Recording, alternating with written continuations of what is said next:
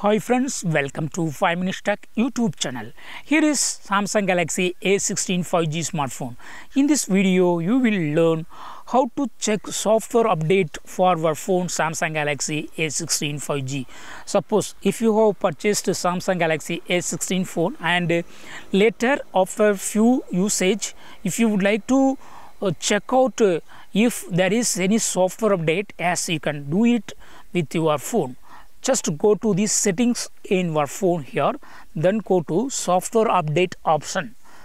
There will be one option called software update. Just click on it and here you will find download and install. Okay just click on it and it will be checking the update. If there is any update it will be available here. But in my case it is read that your software update your software is up to date. Okay update information is also showing one UI version 6.1 Android version 14 current version is also showing and security patch level 1st January 2025 so is up to date.